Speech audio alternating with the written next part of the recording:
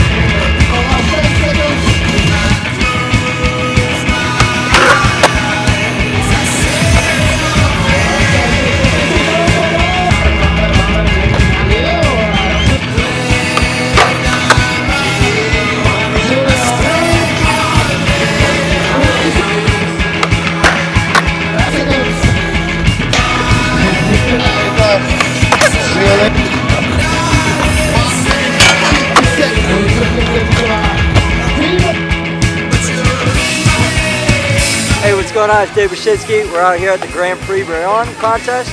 Finals about to start. Let's get it!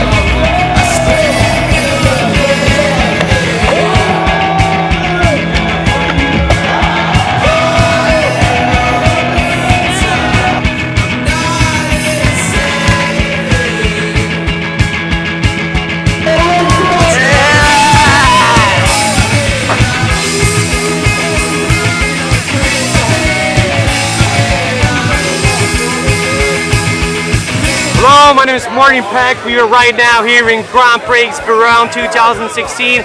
It's the World Cup Championship and uh, I won that right now. I made it, uh, I did a couple tricks, uh, it was a lot of people here, a lot of friends. It was super good, it was awesome. I'm totally happy that I won that, you know, it's my third time here. Super good contest and subscribe the right channel.